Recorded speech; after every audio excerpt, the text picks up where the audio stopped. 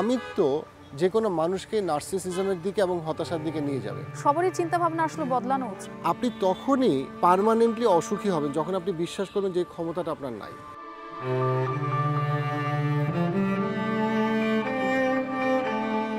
ছদ্মনাম আয়েশা। তার বয়স between thirty five to forty five তার অলরেডি দুইবার ডিভোর্স হয়েছে। তার প্রথম হাজবেন্ড ছিল সে প্রচুর পরিমাণে মাদকাসক্ত ছিল, কিন্তু কেউ জানতো না, বিয়ের পরে জানতে পারে। সেখানে তার একটা সন্তান হয়। তার দ্বিতীয় স্বামী খুব বেশি পরিমাণে জুয়া খেলতো, সেখান থেকে লোন করছে, কখনো কখনো বউকে শারীরিক নির্যাতন করতো, সেই জায়গা থেকে তার আবার ডিভোর্স হয়েছে।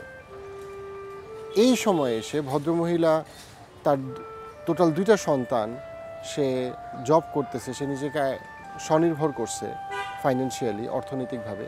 অ্যাট দ্য সেম টাইম সে আবারও বিয়ে করার চেষ্টা করতেছে এই আশায় জেনুইনলি এই ইচ্ছায় যে সা- তার জীবনের সমস্ত স্বপ্ন সে পূরণ করতে চায়।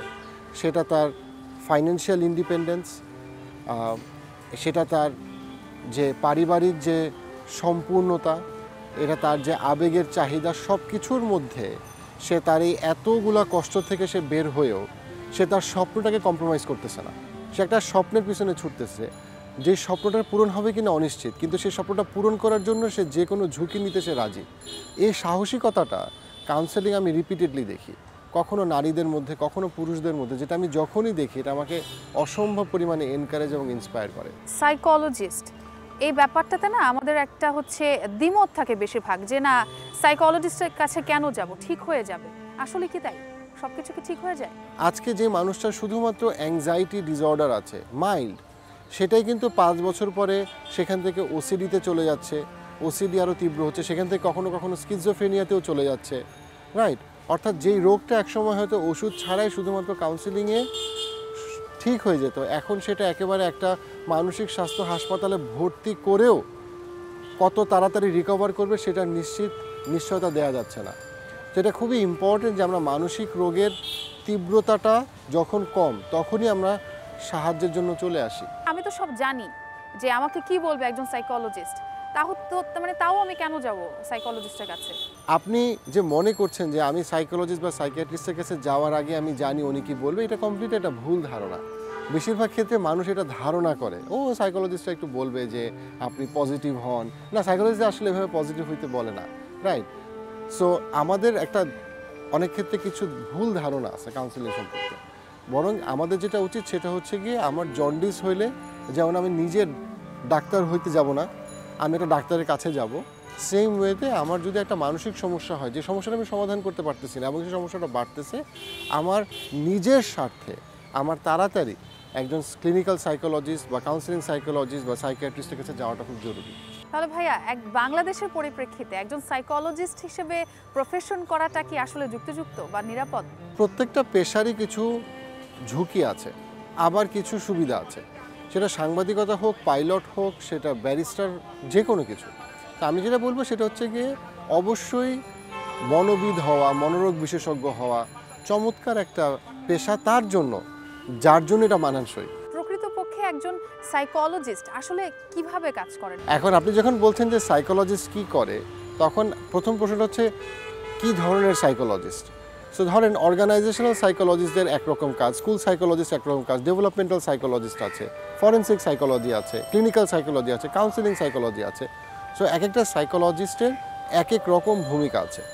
এটা আমাদের সমাজের জন্য একটা বিপদের কারণ যে আমরা মনে করি যে সাইকোলজিস্টদের কাজ হচ্ছে শুধুমাত্র রোগী দেখা। সাইকোলজি টপিকটা হিউম্যান বিহেভিয়ারের সমস্ত অ্যাসপেক্ট নিয়ে কথা বলবে। খুঁজি দেখি শিখি গ্রামীণ ফোন ফোর জিতে এখনই গ্রামীণ ফোন। আচ্ছা এটা যে শুধুমাত্র কাউন্সিলিং এর সীমাবদ্ধ নয় এইটা সম্পর্কে সচেতন করতে আসলে আপনি কি করছেন? সো আমি যেমন যেটা করি আমার একটা পডকাস্ট শো আছে পার্সপেক্টিভ পডকাস্ট যেখানে আমি জীবনের এবং সমাজের বিভিন্ন জায়গার গুরুত্বপূর্ণ মানুষদেরকে নিয়ে এসে তাদের সাথে আমি বিভিন্ন অ্যাসপেক্টে বিহেভিয়ারাল অ্যাসপেক্টগুলো সাইকোলজিক্যাল অ্যাসপেক্টগুলো নিয়ে আমি খোলামেলা আলোচনা করি। এই যে অনেক মানুষ যা আয় করছে, তার থেকে বেশি ব্যয় করছে। যেটা প্রয়োজন না, সেটা কিনে ফেলছে। সে কোনো টাকা জমাচ্ছে না।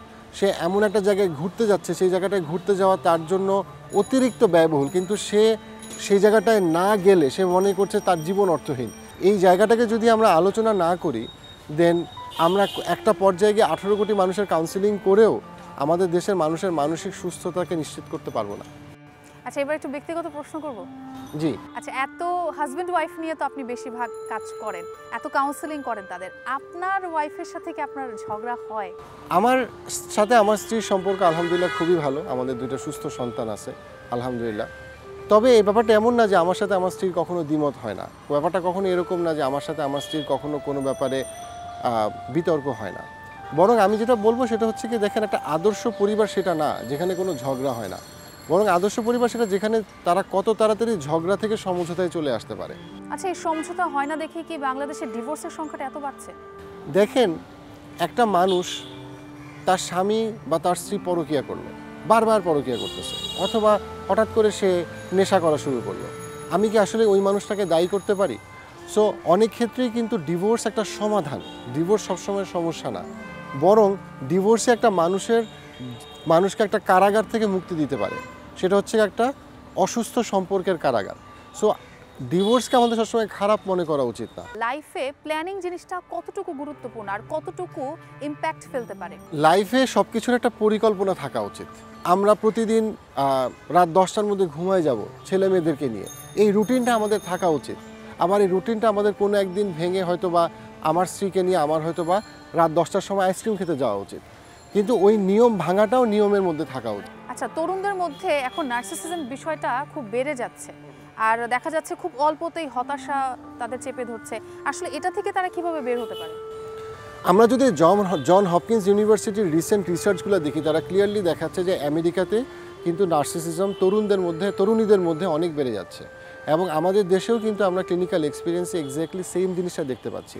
এর মূল কারণ আমি বিশ্বাস করি সেটা হচ্ছে যে আমাদের সমাজে আমরা যে আমাদের সন্তানদেরকে বড় করতেছি সেইখানে আমরা তার যে প্রয়োজন, তার যা ভালো লাগে, এটাকে খুব ব্যক্তিকেন্দ্রিক একটা সমাজে আমরা পরিণত করতেছি। ইটস অল অ্যাবাউট আমার কি লাগবে, আমি কি চাই, আমার জন্য কি ভালো, আমার কি মজা লাগে। ইটস অল অ্যাবাউট আমি আমি আমি। এই আমিত্ব যে কোনো মানুষকে নার্সিসিজমের দিকে এবং হতাশার দিকে নিয়ে যাবে। সাইকোলজিস্ট যে শুধুমাত্র হচ্ছে রোগীদের জন্য তেমনটা না। না। সবারই চিন্তা ভাবনা আসলে বদলানো উচিত। সবারই চিন্তাভাবনাকে সে আরও পরিশুদ্ধ করতে পারে। আপনার সম্পর্ক আপনি আরও পরিশুদ্ধ করতে পারেন। আমার সম্পর্ক আমি আরও পরিশুদ্ধ করতে পারি। এবং সেই জায়গায় অনেক সময় আমি আমার নিজের ভুলটা দেখছি না। আমার সংশোধনের জায়গাটা আমি দেখছি না। আপনার কি মনে হয় আগে যেমন সাইকোলজিস্টের নাম শুনে মনে হতো যে না কেন মানে পাগলের ডাক্তার যেটা বলে আমরা যেটা মানে সমাজ যেটা বলে এখনও কি সেই চিত্রটা আছে নাকি কিছুটা পরিবর্তন আমি বলব যে অনেকটাই পরিবর্তন হচ্ছে। মানুষ এখন দেশ থেকে দেশের বাইরে থেকে অনেক মানুষ আমাদের কাছে এখন রেগুলারলি কাউন্সেলিং করছে। আচ্ছা ভাইয়া দর্শকদের উদ্দেশ্যে যদি কোনো আরেকটা ইন্সপায়ারিং স্টোরি শোনাতেন। প্রত্যেকটা মানুষের সুখে থাকার জন্য এতটুকু বোঝাটাই যথেষ্ট যে সে যে কোনো পরিস্থিতিতে যতক্ষণ সে সুস্থ আছে বেঁচে আছে সে তার নিজেকে বদলাতে পারে অথবা তার নিজের পরিবেশকে সে বদলাতে পারে। আপনি আপনার স্বামী বা স্ত্রীর জন্য নিজেকে বদলাতে পারেন অথবা আপনি আপনার স্বামী বা স্ত্রীকে বদলাতে পারেন, এই ক্ষমতাটা আপনার আছে। আপনি তখনই পার্মানেন্টলি অসুখী হবেন যখন আপনি বিশ্বাস করবেন যে ক্ষমতাটা আপনার নাই। একজন সাইকোলজিস্ট আপনার প্রবলেমটা আসলে সলভ করে না। বরং আপনি যেন আপনার প্রবলেমটা সলভ করার জন্য যথেষ্ট মানসিকভাবে ক্ষমতাবান হন, সেই উচ্চতায় আপনাকে পৌঁছে দেয়।